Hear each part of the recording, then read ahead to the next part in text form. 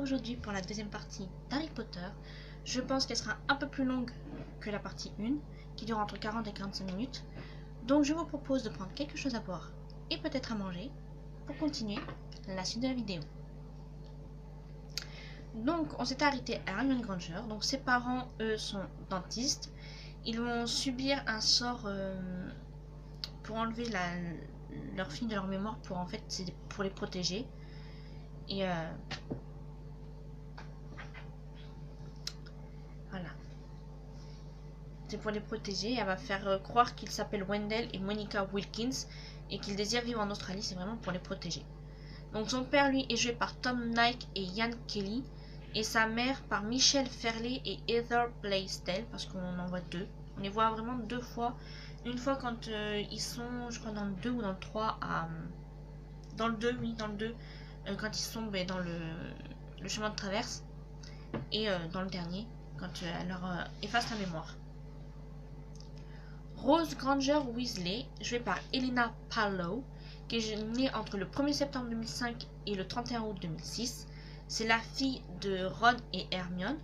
Donc elle, elle est du coup une sans mêlée. Elle va être à la, dans la maison Gryffondor. Euh, donc on la, on, voit à la fin du film, du 7. Quand ils, euh, ils emmènent leur enfant à Poudlard. Enfin au Poudlard Express, à King's Cross. Et euh, après on la voit dans la pièce de théâtre Harry Potter et l'enfant maudit. Ce, livre-là n'existe qu'en pièce de théâtre. Je l'ai, je l'ai lu. Voilà, je peux vous le dire. Et à la fin du livre, on apprend que Scorpius lui a demandé de sortir avec euh, elle. Mais euh, malgré son refus, Scorpius va continuer d'espérer, car Rose s'est selon lui beaucoup adouci avec lui. Il est amoureux, Scorpius est le fils de Drago. Et du coup, il est amoureux de Rose. Hugo Granger Weasley, joué par Ryan Turner, donc qui est aussi le frère de Rose. 500 mêlés également. Donc lui, c'est le petit frère. Euh, pour plaisanter, son père lui a dit qu'il n'allait pas à Gryffondor. Euh, allait, que s'il n'allait pas à Gryffondor, il allait le déshériter. Et sa mère lui a affirmé que c'était une plaisanterie. Et lorsque Lily et Hugo parlaient de la maison qu'il euh, lorsque Lily et Hugo parlaient de la maison qu'ils voulaient rejoindre. Puis il ira à Gryffondor. James Sirius Potter, joué par Will Dunn, donc qui est, est né entre le 1er septembre 2003 et 31 août 2004 qui est le fils aîné de Harry et Ginny, donc c'est un sang mêlé également. Euh, Ron est son parrain, donc Hermione sa marraine. Donc lui, euh, à Poudlard, il va aller euh, à Gryffondor. Donc il est nommé ainsi en l'honneur du, père et du parrain de Harry. Il a hérité du caractère de ses, oncles Fred et George. Euh, car il adore faire peur à son jeune frère Albus, en lui disant qu'il ira peut-être à Serpentard, ce qui va être vrai pour le coup, comme faisaient les jumeaux pour Ron. Euh, puis il est excité à l'idée de rejoindre Poudlard, euh, où ben, il est Gryffondor également, comme son père et sa mère. Puis il va être curieux car il surprend Ted Lupin en train d'embrasser Victor Weasley. et il va voler la carte du maraudeur dans le bureau de son père. Albus Severus Potter, joué par Arthur Bowen. Entre le il est né entre le 1er septembre 2005 et le 31 août 2006. Donc c'est le, fils de, le second fils d'Harry et Ginny. Il est nommé ainsi en l'honneur d'Albus Dumbledore et Severus Rogue. Je pense que vous l'aurez compris. Euh, il ressemble à son père. Il a les cheveux bruns en bataille et des yeux verts en amande. Des trois enfants de Harry, Albus est le seul à avoir les yeux de Lily sa grand-mère paternelle. Euh, et contrairement à son frère aîné James, Albus paraît silencieux et sage, et sa plus grande crainte est de finir à Serpentard. Il est décrit comme quelqu'un d'isolé et de renfrogné par le professeur Minerva McGonagall. Lily Luna Potter. Attendez, deux minutes. Tu, tu, tu, je suis en train de regarder. Et Neville Londupas et son parrain. Voilà, c'est ça que je cherchais. Donc Lily Luna Potter, jouée par Daphné de Guy, je sais pas si c'est bien dit, qui est née entre le 1er septembre 2007 et le 31 août 2008. Donc c'est la fille, la dernière fille de d'Harry et, Ginny. Donc elle est sans mêlée également. Euh, elle a pas de parrain Ah non. Apparemment, elle n'a pas de parrain. Donc, elle se nomme ainsi en l'honneur de la mère de Harry et de l'amie de ses parents, donc Luna Lovegood. Elle a les cheveux roux, donc en fait, elle ressemble à sa mère. En 2017, sur la mois 9 3 quarts, elle montre son impatience d'entrer à Poudlard, tout comme ce fut le cas pour sa mère au même endroit, mais elle doit, attendre, elle doit attendre encore deux ans. Molly Weasley 2. Donc elle, on la voit pas, on entend parler d'elle. Donc elle est euh, de sang sorcière. Il n'y a pas marqué son pur ou son mollu, euh, enfin son mêlé. Sorcière est marqué. C'est la fille aînée de Percy et Audrey. Elle a une sœur Lucie. Elle se nomme ainsi en l'honneur de sa grand-mère paternelle. Lucie Weasley, pareil, c'est une sorcière. Elle est née donc, euh, c'est la sœur aînée, c'est la sœur cadette pardon de Molly. Victor Weasley est né le 2 mai 2000. C'est la, de, la fille de Bill et Fleur. Elle a un sang de Vélan vu que sa mère était mi-sorcière, mi-Vélan. Oh, pardon. Euh, donc c'est la fille aînée, voilà. Ils lui ont donné ce nom car elle est née un 2 mai. Donc euh, l'anniversaire du jour où Harry et ses amis ont vaincu Voldemort. Donc victoire. Elle a une sœur Dominique et un frère Louis. Euh, c'est la seule enfant de Bill et Fleur qui apparaissent dans les livres et elle apparaît dans l'épisode, dans l'épilogue en train d'embrasser Ted Lupin. Dominique Weasley, sa sœur, euh, qui est née après 2001, pareil sans de Vélan. Euh, puis il n'y a rien d'autre à dire. Voilà, elle a juste hérité du sang de Vélan venant de sa mère, comme sa sœur, et comme son frère, Louis Weasley, qui est pareil, un sang de Vélan. Il a deux sœurs âgées, comme je vous ai dit, c'est le, le, plus petit. Louis est un seul garçon connu de la saga Harry Potter à avoir du sang de Vélan. Fred Weasley II, qui est le fils de George et Angelina. Euh, c'est un sang mêlé. Euh, il se nomme ainsi en l'honneur du frère jumeau de son père, qui est décédé lors de la bataille de Poudlard. Il a une sœur, Roxane Weasley, qui est sans mêlé également, donc, euh, et qui est ben, sa sœur. Voilà. J'ai pas trop grand chose à rajouter. Albus Perceval Wilfrid Brian Dumbledore, joué par Richard Harris 2001-2002. Malheureusement, après, il est décédé, donc il n'a pas pu euh, continuer son rôle. Donc, il a été remplacé par Michael Gambon, qui a fait de 2004 à 2011. Lui, Albus est né entre juillet et août 1881. Il est mort le 30 juin 1997 tué par Severus Rogue. Mais il y a une raison pour ça. Euh, donc il a un frère qui s'appelle Albert Foff Dumbledore et une sœur Ariana Dumbledore qui malheureusement a été tuée. C'est un sang mêlé et son patronyme c'est un phénix. Donc du coup c'est un c'était un des plus grands sorciers euh, de tous les temps. Voldemort il avait le plus peur d'Albus Dumbledore. C'était lui qui avait peur. Euh, il a aussi euh, battu le mage noir Grindelwald en 1945. Ça, je vous parlerai de Grindelwald dans Les Animaux Fantastiques, quand je vous en parlerai.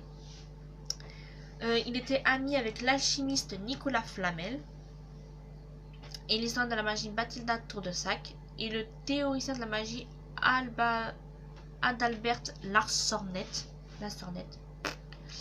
Il existe une carte de Choco-Grenouille à son effigie et il est le seul sorcier que Voldemort ait jamais craint.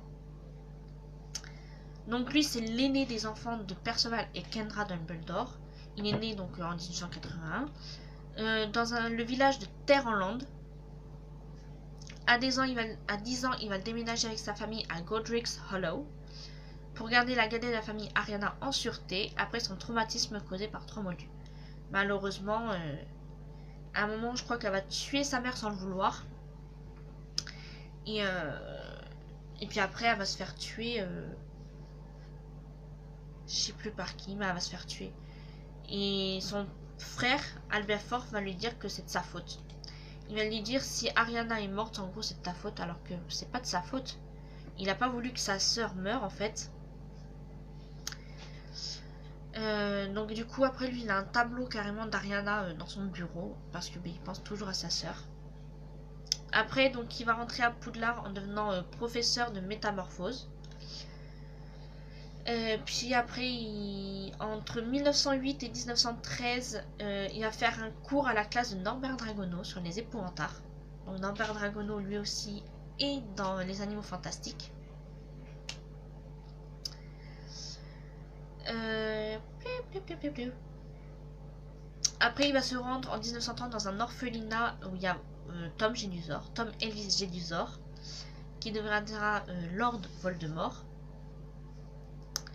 Puis il va euh, accuser Ruby Sagrid d'avoir ouvert la chambre des secrets en 1943, alors que pas du tout c'est lui qui l'a ouverte, vu que ça doit être, je pense, un descendant de Salazar Serpentard.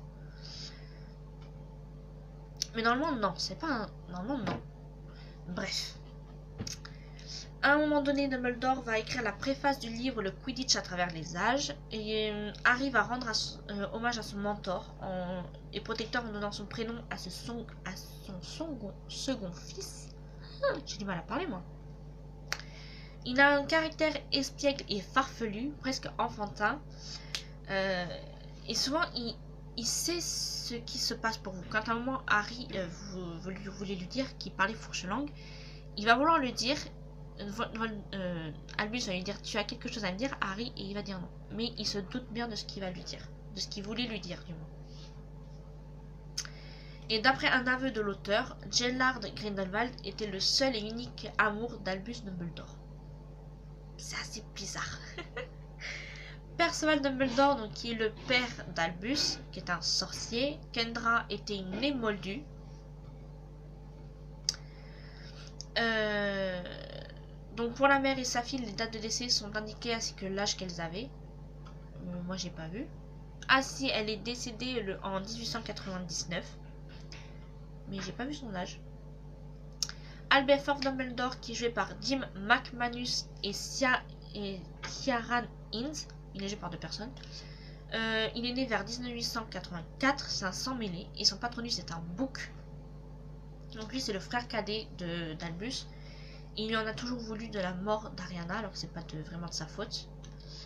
Donc il en a toujours voulu, mais il va quand même participer euh, à la bataille de Poudlard et il va aider Harry, Ron et Hermione à rentrer dans Poudlard par rapport à, un passage secret. Et il va devenir par la suite euh, euh, il va, participer au combat à 3 avec Albus et Grindelwald, qui deviendra par la suite deux des plus grands puissants sorciers de tous les temps. Ariana Dumbledore, donc on la voit un peu, est jouée par Ebe Birdsall.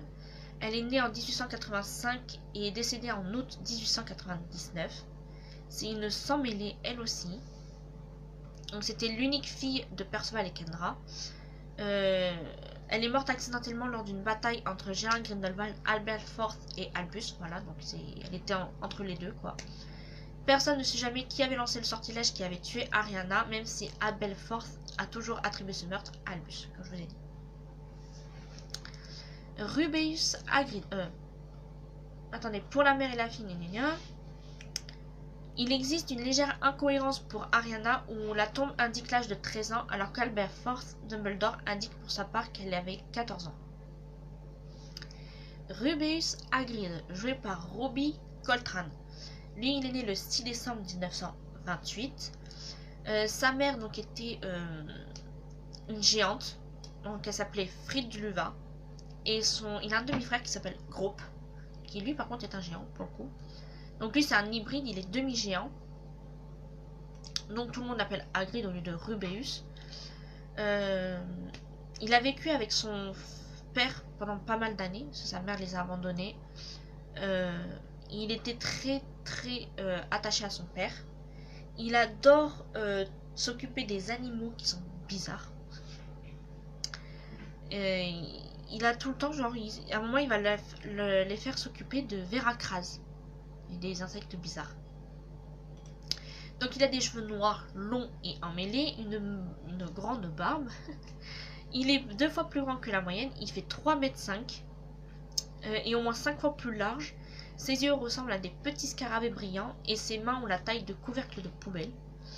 Euh, il porte la plupart du temps un long manteau en peau de castor, aïe, d'ours ou un gros par-dessus en poil de taupe plein de poches. Euh, il semble effrayant au début, Mais après, on comprend qu'il est de nature sensible et sentimentale. Il pleure facilement. Quand il a dû euh, se séparer d'un dragon qu'il avait ramené, par exemple. Il s'essuie les larmes dans son grand mouchoir à pois. Il est extrêmement loyal et courageux également. À un moment, il va tomber amoureux de Madame Maxine, qui est euh, la directrice de l'école de Beaubaton en France, de magie de Beaubaton là, et qui elle aussi est une hybride, mais qui ne, qui ne, comment dire, elle ne l'accepte pas au début. Hagrid est l'un des premiers personnages créés par l'auteur. Lorsque Harry rejoint Poudlard, Hagrid est le gardien des clés et des lieux, ce qui signifie selon euh, l'auteur que c'est lui qui vous laisse entrer et sortir de Poudlard. L'auteur a expliqué dans une interview que la scène dans laquelle Hagrid transporte le corps apparemment mort de Harry dans ses bras est très significative. Hagrid a tiré Harry de chez les Dursley. Il l'a amené dans le monde magique. Il était comme son gardien et son guide. Là, je voulais que ce soit lui qui fasse sortir Harry de la forêt. Et euh, les poils de chat le font éternuer. Il est euh, allergique au chat. Severus Rogue, son nom en anglais qui est Severus Snape, joué par Alan Rickman, qui euh, l'acteur lui est décédé en 2016 si mes souvenirs sont bons. Euh, je ne vais pas vous dire de bêtises, mais je crois que c'est en 2016 qu'il est décédé l'acteur. Lui, donc, Severus est né le 9 janvier 1960, décédé le 2 mai 1998, tué par Voldemort. Enfin, par Nagini, le serpent de Voldemort. Euh, donc c'est un sang mêlé. Et euh, son patronus à lui, c'était une biche, comme Lily. Lily était le plus grand amour de sa vie, de toute façon. Donc lui, il a été professeur euh, de potions de 80 à 96. Et après professeur de défense contre les forces du mal de 96 à 97. Après, il lui, il était directeur de la maison Serpentard de 80 à 97 égal, aussi, voilà. Et également directeur de Poudlard pendant qu'une année, une année de 97 à 98 où il a été tué. Euh, au départ, on croit qu'il est genre euh, méchant envers Harry. Et en fait, je pense qu'il veut, il en veut Harry parce qu'il ressemble à James, qui est son ennemi de toujours. Mais Dumbledore lui a fait promettre de protéger Harry pour Lily, pour la mémoire de Lily. Donc du coup, euh, à la fin, c'est là qu'à la fin, je l'aime bien quand même. Et je pensais pas, hein, j'ai pleuré pour sa mort quand même. Alors que je pensais ne pas pleurer pour lui. Hein. Et j'ai pleuré pour sa mort, c'est triste. il va dire à Harry de prendre sa larme pour aller voir dans la piscine et il voit ce que lui doit faire. Qu'il doit se rendre à Voldemort tout simplement. Qu'il doit mourir pour que Voldemort meure. Euh, Donc après, il va être en fait euh, l'espion de, de Dumbledore pour... Euh, l'espion de Voldemort pour Dumbledore. Enfin, il va faire croire qu'il est mange-mort et en fait, il va raconter à Dumbledore ce qui se passe. Et il raconte des mauvaises infos à Voldemort. Voilà. Vous voyez ce que je veux dire. Donc lui, il sera sur les lieux aussi quand Lily après va être tuée. Il va euh, voir euh, Lily morte. Il est le seul avec Drago Malfoy et Minerva à ne pas appeler Harry par son prénom.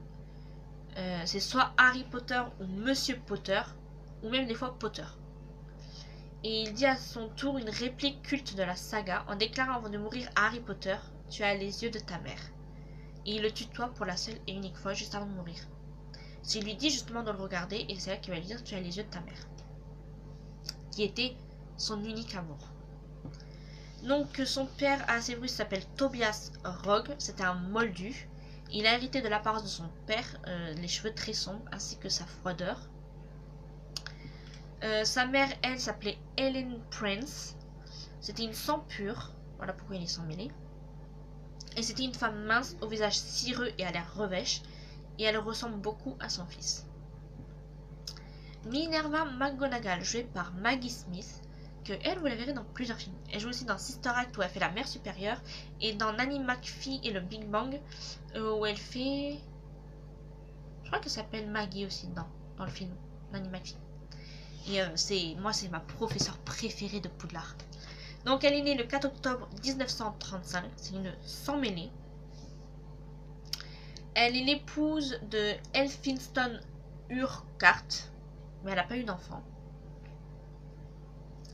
Et elle, son patronus, c'est un chat avec des marques de lunettes, comme euh, son animagus, ça se transforme en chat également. Et autour de ses yeux, il y a comme la marque de ses lunettes. Donc elle est directrice euh, de Poudlard, après la, mort de, de Severus et d'Albus. Elle est également professeure de métamorphose. Elle a aussi été directrice adjointe de Poudlard. Euh, c'était une collègue et amie proche d'Albus. Elle est également directrice de la maison Gryffondor. Euh, elle fait partie de l'ordre du Phénix. C'est une sorcière très puissante qui a participé à la bataille de Poudlard. Et l'une des premières personnes à combattre Voldemort personne accompagnée de Kingsley Shacklebolt et Horace Slughorn. Et d'ailleurs, quand euh, il va y avoir la bataille, elle va faire un sort. Et elle dit J'ai toujours rêvé de faire ça. Toute contente quand elle le fait. Ça me fait trop rire. Donc après la guerre, elle va, euh, elle va donc euh, être directrice de Poudlard. lui, Kingsley Shacklebolt est devenu le ministre de la magie. Il va lui décerner le titre de commandeur de l'ordre de Merlin et une carte des sorciers célèbres qui apparaît à son effigie peu de temps après, une récompense qu'elle admet ne pas avoir espéré obtenir un jour. Elle aime beaucoup le Quidditch. Et à chaque fois, euh, et chaque année, voilà, quand sa maison euh, remportait la coupe, elle était, elle était contente, quoi.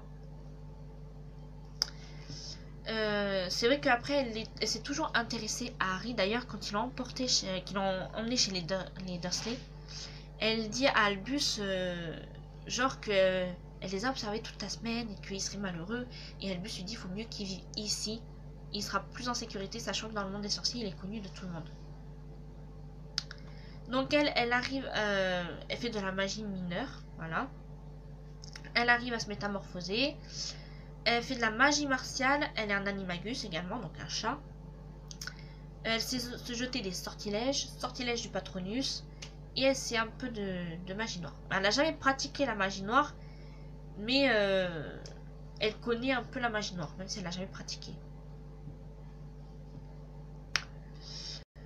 Euh, donc le chapeau magique a hésité à la placer euh, à Serdaigle ou à Gryffondor. Il a finalement choisi Gryffondor. Et Serdaigle pour Flitwick, qui était un autre sorcier, un petit professeur. Hein. Euh, les deux professeurs aiment beaucoup imaginer leur vie si le chapeau avait fait le choix inverse et rigolent souvent de cela. Lorsqu'Hermione Granger présente à Harry Potter le trophée de Quidditch de son père, James Potter, on peut lire sur la droite 1971 Minerva McGonagall. Il s'agit probablement euh, donc MG McGonagall. Il s'agit probablement l'un de ses neveux ou l'une de ses nièces. Et Minerva McGonagall est spectatrice de Quidditch et une supportrice des Pieds de Montrose, donc une équipe de Quidditch. Dolores Jane Ombrage, en anglais ça se dit Dolores Umbridge, jouée par Imelda Staunton, qui est un de mes personnages que je déteste. Je l'aime pas Elle est née le 26 août 1965, l'année de naissance de mon père. C'est une sang mêlée et elle, son patronus, c'est un chat au pelage touffu. Donc elle est une sous-secrétaire d'État auprès du ministre de la Magie. Elle va devenir euh, professeure des, défenses contre les forces du mal, où en fait elle les apprend pas à se défendre. Parce que le ministère de la Magie ne, croit pas que Voldemort est revenu. Donc du coup, euh, elle va les empêcher d'apprendre des sortilèges. Sauf que Harry, euh, ils vont quand même créer l'armée de Dumbledore où ils vont s'entraîner en secret. elle, elle a été envoyée à Serpentard lors de la répartition était à Poudlard. Elle a un frère qui est crackmoll et qu'elle reniera par la suite au même titre que sa mère. Et euh, ça veut raconter à qui veut l'entendre qu'elle est de sang pur. Alors euh, que pas du tout. Ensuite, après la chute de, Voldemort, elle va être arrêtée, jugée et emprisonnée à Azkaban pour crime contre les sorciers nés de parents moldus. Euh, et c'est un des personnages les plus détestés de la saga, surpassant Voldemort lui-même. Enfin, moi, c'est quand même Voldemort que je déteste en premier. Dobby l'elfe de maison, qui sont appelés, en anglais c'est Dobby the House Elf, qui euh, est joué par Dobby Jones, du moins la voix originale, je pense que c'est l'original. Donc lui il est né le 28 juin et il est décédé le, en mars 1998 dans les bras de Harry Potter, c'est trop triste. Donc lui c'est un elfe de maison qui était contraint de servir la famille Malfoy euh, il rêvait d'être libéré et il deviendra l'ami de Harry Potter et lui sera fidèle jusqu'à sa mort. Et euh, le signe distinctif des elfes de maison, en fait, c'est ils sont habillés d'une tête d'oreiller.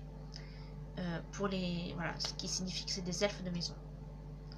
Et il va être libéré parce que Harry va mettre une de ses chaussettes dans le livre Le journal de Gédusor, qui va donner à Lucius. Lucius va le filer à Dobby.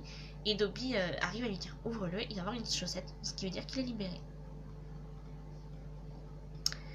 Ensuite,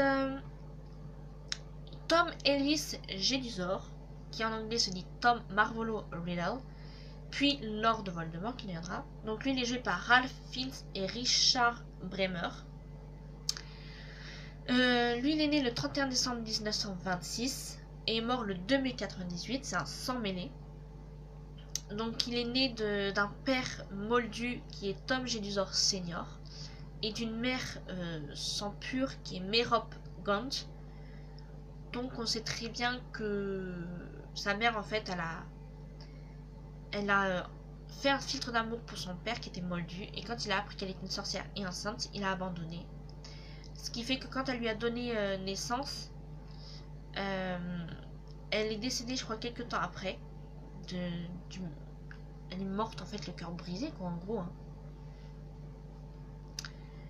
Et elle a juste eu le temps de dire que comment elle voulait appeler son fils. Donc Tom Elvis, Tom comme son père, Elvis comme son grand-père, et Gédusor le nom de son père, quoi. Donc lui, il a vécu dans un orphelinat, puis... Euh, et après, il va faire... Il va vraiment s'intéresser à la magie noire, et ce qu'il va faire, qu'il va devenir le, le plus grand euh, mage de la magie noire de toute l'histoire. Et qui va vouloir tuer Harry, qui va pas réussir. Il va vouloir le tuer une deuxième fois, il va pas réussir. Puis ben, après, euh, Harry, Ron et Hermione vont détruire euh, tous les Horcruxes. Et euh, voilà. Et après, Harry va pouvoir le tuer. Et Bellatrix Lestrange a toujours été amoureuse de lui. Donc dans, dans Harry Potter et l'enfant maudit, pardon, on sait que Bellatrix Lestrange et Voldemort ont eu une fille Delphine. Je lance ça comme ça. Je vais vous en parler après de Delphine. Bellatrix Lestrange, jouée par Helena Bonham Carter. Euh, donc elle est née en 1951 et décédée le 2 mai 98, tuée par Molly. Donc, euh, elle, a tué sa sœur, Andromeda Donks, donc, qui est la mère de Nymphadora Donks, qui est sa nièce. Euh, donc sa sœur, il y a aussi Narcissa Malfoy qui est mariée à Lucius. Euh, c'est qu'elle a deux cousins, donc c'est Sirius Black et Regulus Black. Euh, qui, donc, bah, Sirius, voilà, va tuer, euh, va tuer son cousin. Et elle, c'est une sang pure, bien sûr. Donc elle, elle est née Black, c'est une mange-mort engagée au service de Voldemort. elle a toujours aimé. Et avant de, de... Je vous mettrai en barre d'infos une fanfiction qui a été créée sur les sœurs Black. Donc, Narcissa, Bellatrix et leur sœur. Euh, du coup, dans la pièce donc, de Harry Potter et l'enfant maudit, Bellatrix Lestrange aurait eu un enfant avec Lord Voldemort qui se nommait Delphine. Enfin, Delphine. Delphine, donc Delphine, euh, qui serait née avant mai 1998. Donc, qui serait la, la fille de Tom Jedusor et Bellatrix Lestrange. Donc, c'est une sans mêlée. Euh, elle a à peu près une vingtaine d'années. Euh, puis elle va euh, trahir Albus et Scorpius pour amener son père à la vie en changeant le cours de l'histoire. et elle serait née avant la bataille de Poudlard dans le manoir des Malfoy. Donc après, bah, elle serait orpheline après la, mort de ses parents. Élevée par Euphemia Wall. Et malgré le manque d'affection de celle-ci envers la jeune fille,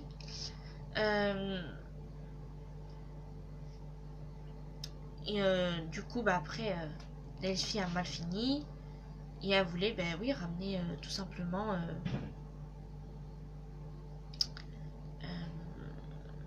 ramener son père à la vie. Lucius Malfoy.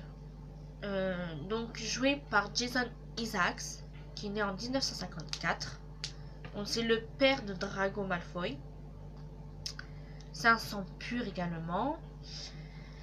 Euh, lui, c'était un mange-mort de Lord Voldemort, mais à la fin, euh, on va dire qu'il va vouloir quitter, euh, les mange-morts. Et après, il va récupérer son fils et ils vont partir et ils ne seront plus. Voilà.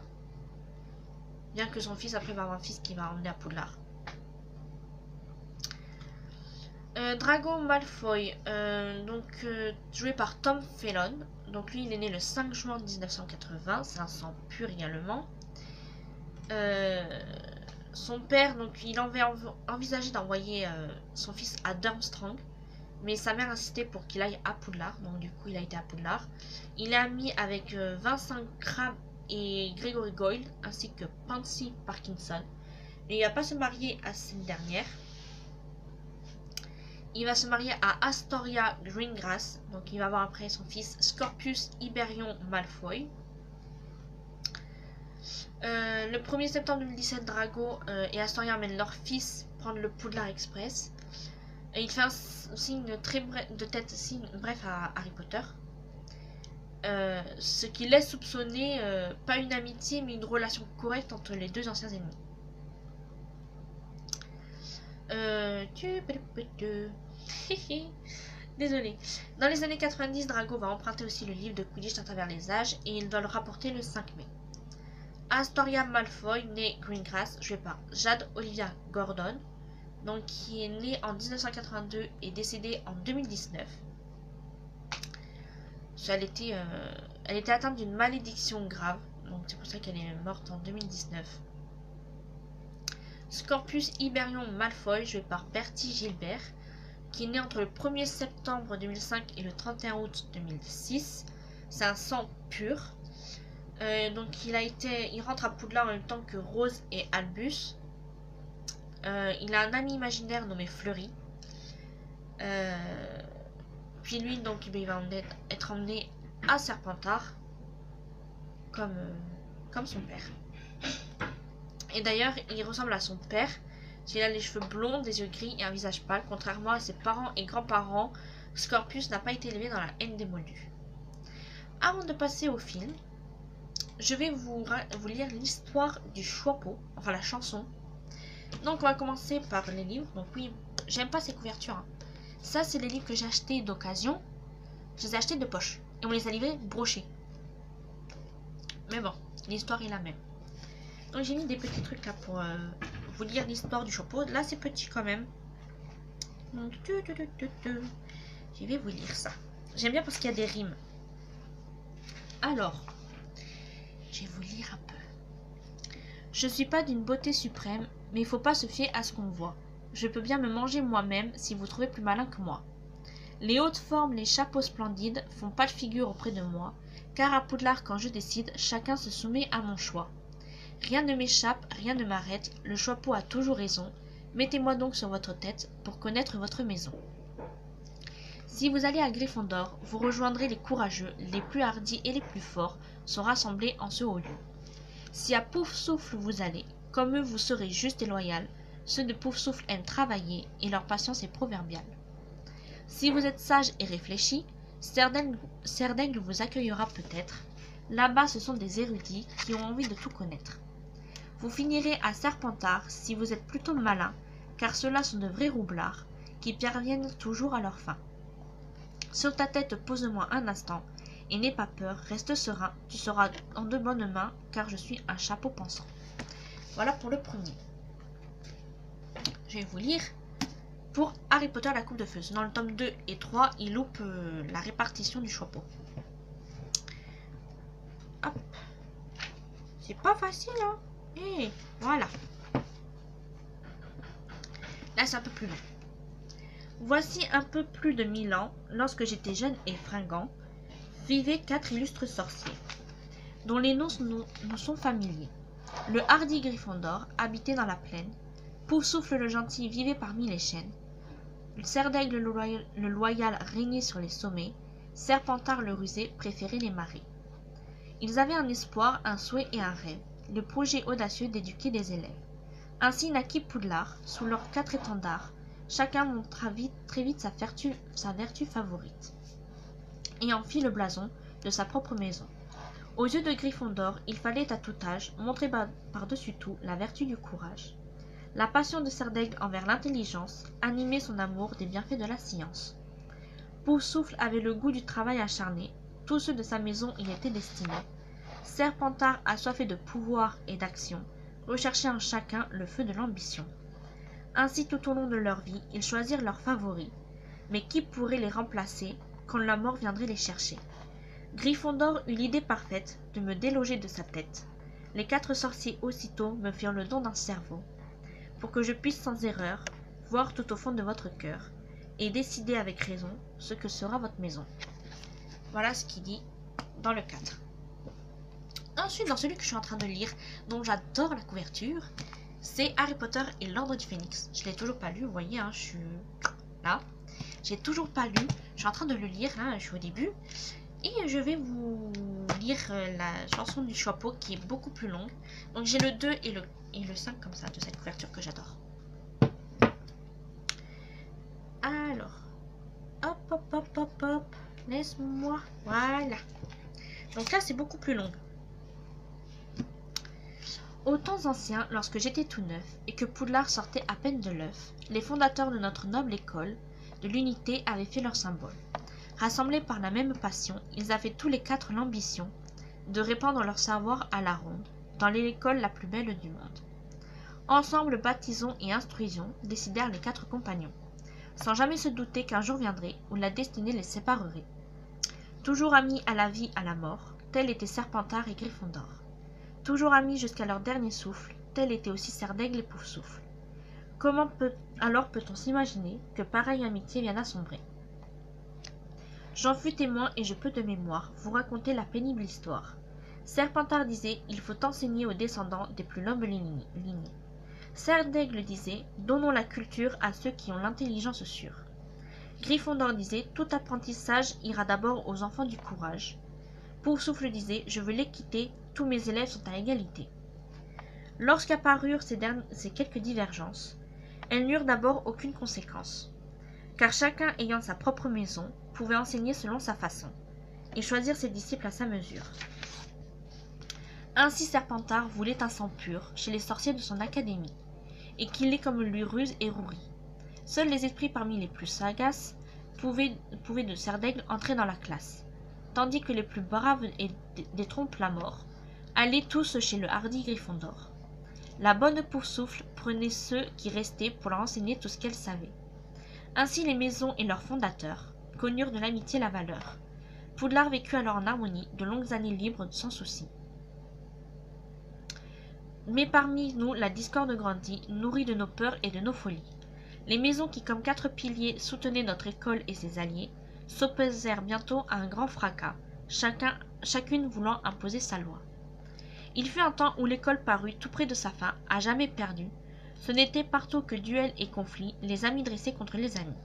Si bien qu'un matin, le vieux Serpentard estima venue l'heure de son départ. Et bien que l'on vit cesser les combats, il, laissa nos, il laissait nos cœurs en grand désarroi. Et depuis que les quatre fondateurs furent réduits à trois pour leur malheur, jamais plus les maisons ne furent unies comme elles l'étaient au début de leur vie. Maintenant, le chapeau magique est là et vous connaissez tous le résultat. Je vous répartis dans les quatre maisons, puisque l'on m'a confié cette mission. Mais cette année, je vais en dire plus long. Ouvrez bien vos oreilles à ma chanson. Bien que condamné à vous séparer, je ne peux m'empêcher de douter. Il me faut accomplir ma destinée, qui est de vous répartir chaque année. Mais je crains que ce devoir aujourd'hui n'entraîne cette fin qui m'horrifie. Voyez les dangers, lisez les présages, que nous montre l'histoire et ses ravages. Car notre Poudlard est en grand péril devant ces forces puissantes et hostiles, et nous devons tous nous unir en elles pour échapper à la chute mortelle. Soyez avertis et prenez conscience, la répartition maintenant commence. Voilà comment se termine la chanson de, du Choixpeau. Donc, c'est beaucoup, c'est celle qui l'a beaucoup plus longue. Et ensuite, on l'entend un peu dans, on la voit un peu dans Harry Potter et l'enfant maudit. Donc voilà, c'est ça la pièce de théâtre. Il n'y a qu'en pièce de théâtre, hein, il n'y a pas en livre. Donc lui, c'est très simple. Hein. Au cours de tant de siècles, j'ai scruté les cerveaux, j'ai lu dans les pensées des élèves nouveaux. Année après année, j'ai joué le rôle unique, qui a fait de mon renom, moi, le choixpeau magique. Au plus haut, au plus bas, j'ai choisi sans relâche. Contre vents et marées, j'ai accompli ma tâche. Posez-moi sur la tête, la voix de la raison révélera alors quelle est votre maison. Oui, c'est tout simple. C'est encore plus court que Harry Potter à l'école des sorciers. C'est pour vous dire. Voilà, je les rangerai un peu plus tard. Donc, j'ai voulu quand même vous lire euh, que le Choixpeau, la, la chanson du Choixpeau. Et maintenant, on peut passer au film. Donc, ah, le titre original est Harry Potter and the Philosopher's Stone. Donc, le titre français Harry Potter à l'école des sorciers.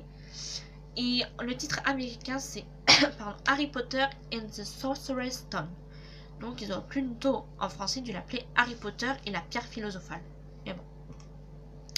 Le, réalisateur du premier film est Chris Columbus. Le film est sorti aux États-Unis, au Royaume-Uni et au Canada le 16 novembre 2001 et en France le 5 décembre 2001.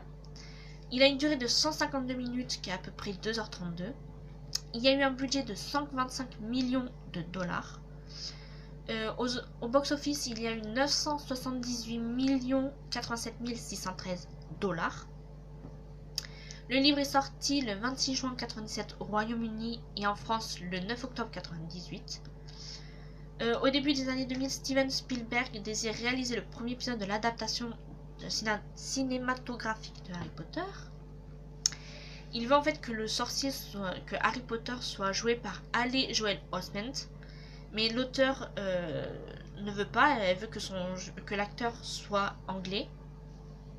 Or, euh, Ali Joel Osment était américain.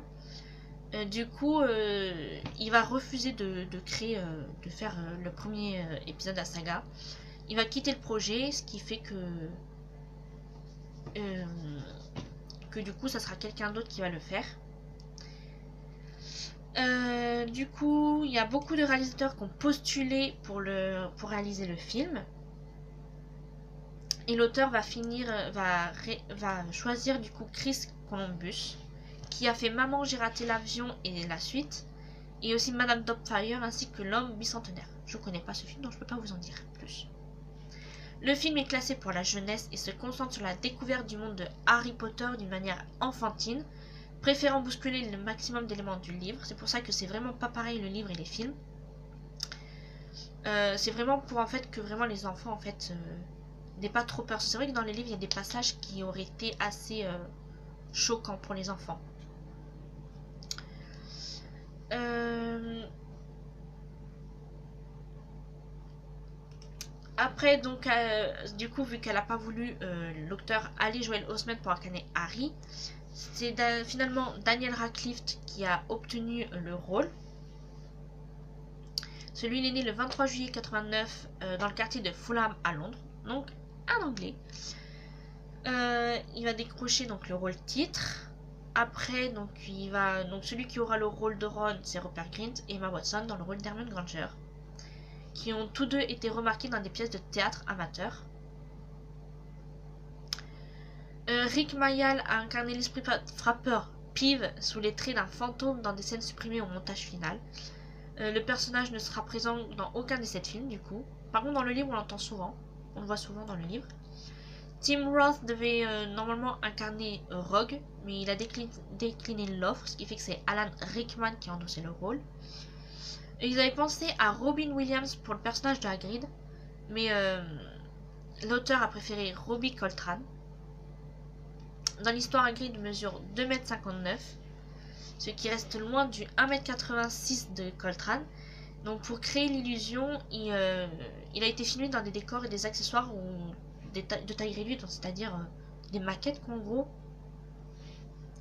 Et aussi les axes de caméra qui étaient bien précis pour vraiment donner l'impression qu'il était grand.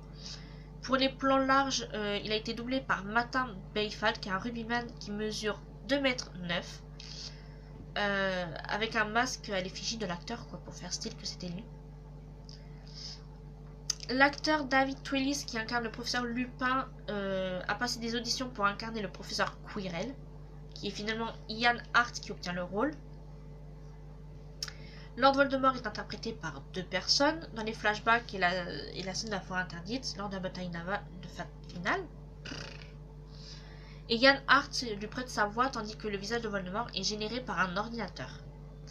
Le tournage a débuté le 29 septembre 2000 au studio Levenstein et s'est achevé le 23 mars 2001 la photographie principale du film a eu lieu le 2 octobre 2000.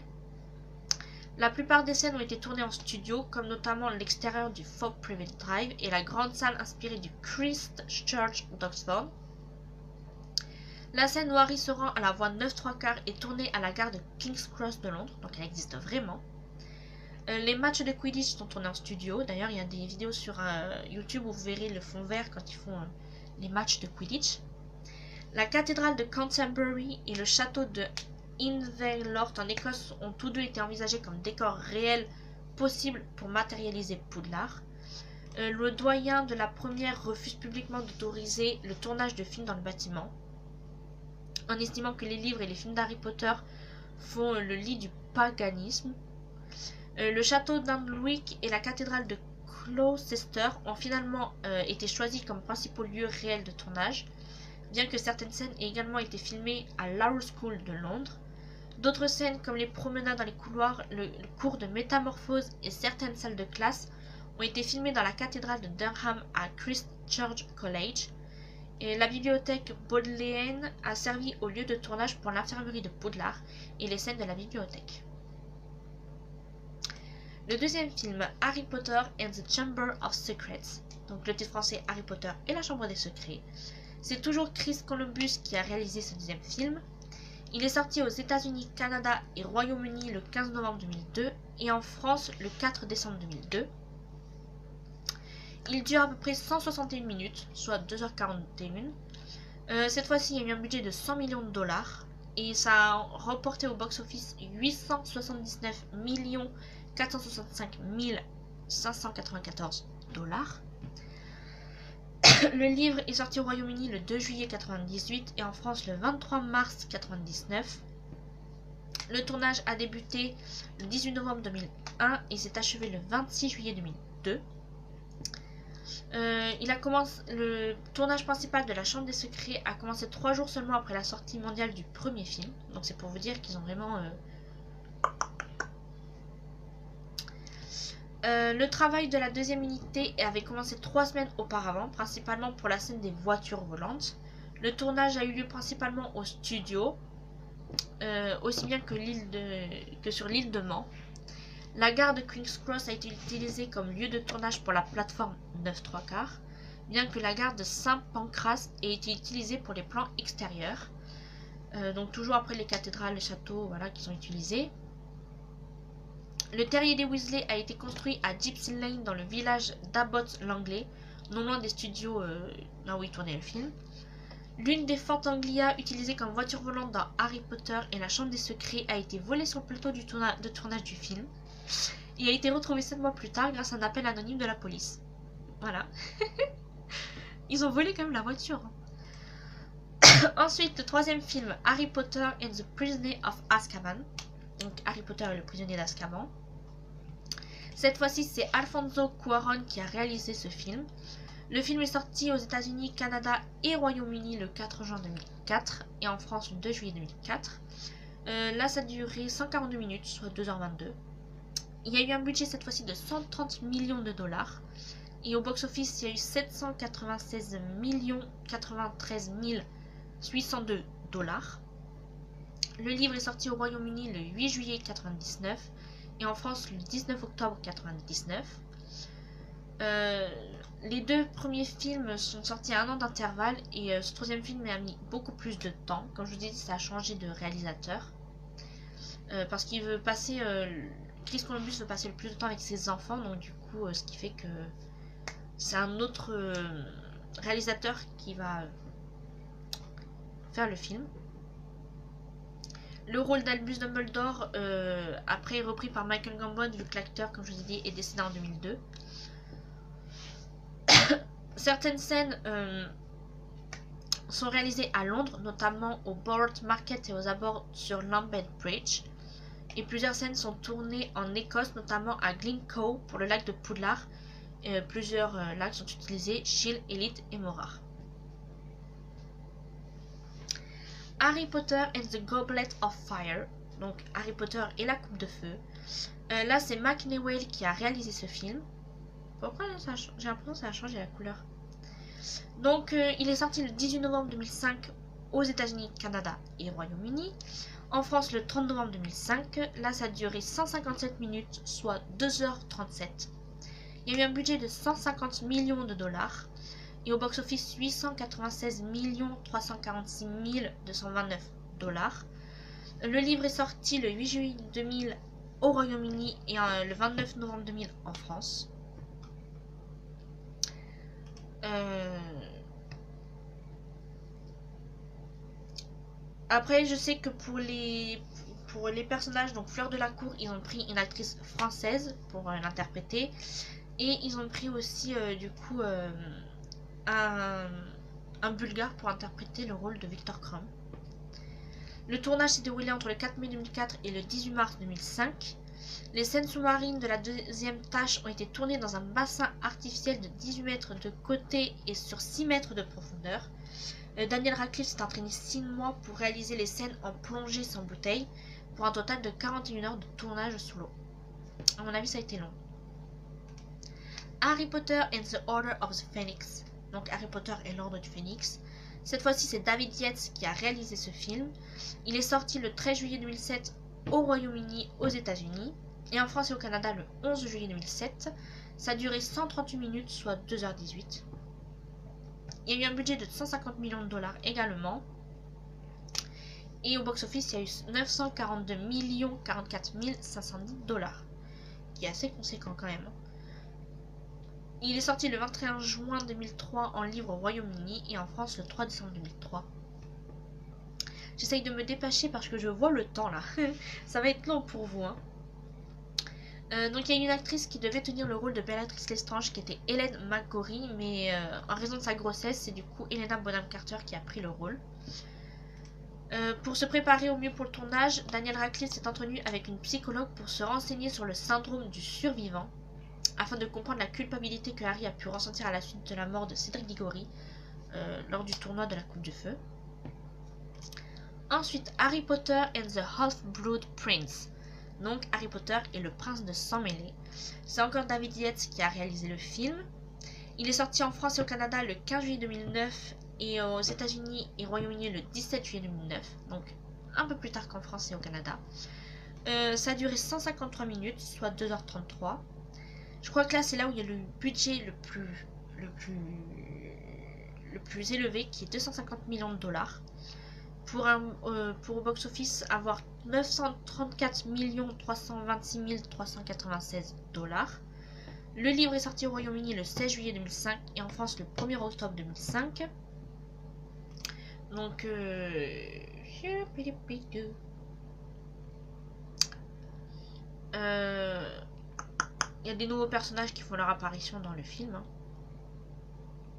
Le film a été tourné en Irlande. De nouveaux lieux ont été présentés dans ce film, comme Weasley et Weasley face pour sorcier cieux sur le chemin de traverse, ou encore la tour d'astronomie. Euh, des lieux comme l'impasse du tisseur, l'orphelinat Wool et Budley Baberton apparaissent également. Ensuite, euh, Harry Potter and the Deathly Hallows, part 1. Donc, Harry Potter et les reliques de la mort, partie 1. Donc, c'est David Yates qui a réalisé aussi euh, les deux parties de, ce, de ces films. Le film est sorti aux États-Unis, Royaume-Uni et Canada le 19 novembre 2010 et en France le 24 novembre 2010. Il a une durée de 146 minutes, soit 2h26. Euh, ils ont eu un budget de 125 millions de dollars. Au box-office, eu 976 920 103 dollars. Euh, donc l'idée a été, euh, euh, de diviser le dernier film pour qu'il y ait beaucoup plus de scènes, qu'on puisse mettre beaucoup plus de scènes en fait dans les films, des scènes qu'il y a dans, le livre. Ensuite, Harry Potter and the Deathly Hollow Part 2. Donc Harry Potter et les reliques de la mort partie 2. Le film euh, est sorti aux États-Unis, Royaume-Uni et Canada le 15 juillet 2011 et en France le 13 juillet 2011. Ça a une durée de 130 minutes, soit 2h10. Euh, il y a un budget de 125 millions de dollars. Et au box-office, il y a eu 1 milliard 341 millions 932 398 dollars. Je crois que c'est là où il y a eu le plus de revenus. Donc le 21 juillet 2007, il est sorti, le livre est sorti au Royaume-Uni et en France le 26 octobre 2007. Euh, ils ont repris donc leur rôle, les acteurs principaux, le trio. euh, euh, avec un cachet de 4 millions de livres sterling, donc qui est beaucoup. Du coup, fin janvier 2009, lors du tournage d'une séquence aérienne à Livingston, David Holmes, la doublure principale de Daniel Radcliffe pour ses cascades, a subi une grave blessure à la colonne vertébrale qui l'a paralysé à vie. il continue néanmoins après son hospitalisation à travailler sur la, production. Le pauvre. En octobre 2009, Ralph Fiennes commence à filmer certaines scènes de son personnage de Voldemort. Euh, de nombreux acteurs adultes sont également préparés au tournage pendant cette période. Le tournage euh, pour les deux parties se termine officiellement le 12 juin 2010 et elles sortent à 8 mois d'écart, la première en novembre 2010 et la seconde en juillet 2011. Voilà ce qui est pour euh, les films. Et ça va être rajouté encore un peu parce que je suis désolée. ça va être vraiment très long. Je vais vous parler des maisons de Poudlard vite fait. Donc Gryffondor qui s'appelle Gryffindor. Donc euh, les couleurs sont rouge et or. Les caractéristiques sont courage, hardiesse, force, bravoure et détermination. Et sur l'emblème c'est un griffon, donc un lion. La maison Gryffondor tient son nom de Godric Gryffondor, l'un des quatre fondateurs de l'école. Euh, le fantôme de la maison Gryffondor est Sir Nicolas et Miss Me Porpington, couramment appelé Nick quasi sans tête. Serpentard, euh, donc Slytherin en anglais. Euh, les couleurs, eux, sont vert et argent. Les caractéristiques sont dirigeant, fierté, ambition, ruse, dédain des règles, grandeur, noblesse et provocation. Sur l'emblème, c'est un serpent. Serpentard, serpent. Euh, la maison un son nom de Salazar Serpentard, l'un des quatre fondateurs de l'école. Le fantôme de la maison de Serpentard est le baron sanglant. On sait que la majorité des sorciers ont mal tourné à Serpentard. Euh, la salle commune se situe sous le lac de Poudlard et on y entre en disant le mot de passe devant un mur des cachots. Serre d'aigle qui s'appelle Ravenclaw. Donc les couleurs sont bronze et bleu. Euh, les caractéristiques sont intelligence, sagesse, érudition, réflexion, curiosité, originalité et créativité. Et c'est un aigle leur emblème. Donc eux, le nom vient de Rowena d'Aigle. Le fantôme, c'est la dame grise, donc la fille de Rowena, Elena. Et la salle est située dans une tour dans l'aile ouest du château. Et pour y entrer, il faut répondre à une question du heurtoir en forme d'aigle sur la porte. Après, enfin, on va finir par Pouf Souffle, Hufflepuff en anglais. Donc euh, eux, les couleurs sont jaune et noir. Euh, les caractéristiques sont loyauté, patience, gentillesse, sincérité, tolérance, persévérance, amour de la nature, modestie, justice, fair play et travail acharné. Ah, il y en a 11. Et sur l'emblème, c'est un blaireau. La maison, donc, eux, ils tiennent son nom de Elga Poufsouffle. Euh, le fantôme, c'est le moine gras. La salle commune est située au sous-sol, à gauche des cuisines. Pour y accéder, il faut toquer au rythme des syllabes de Elga Poufsouffle sur la deuxième le deuxième tonneau en partant du bas, au milieu de la deuxième rangée, et si le nombre de coups ou le bon tonneau euh, sur lequel toquer n'est pas respecté, un flot de vinaigre se déverse sur l'intrus. Voilà, on a enfin fini. Donc la vidéo cette fois sera très longue, je crois qu'elle va durer au moins une heure. Je suis vraiment désolée, j'espère que je vous aurai pas saoulé. J'ai essayé d'aller après aux informations les plus brèves pour pas trop... Euh, prendre de temps. Euh, moi, je vais vous dire du coup à mercredi pour une autre vidéo en espérant que ça sera un peu moins long et que ça vous plaise toujours autant. Ciao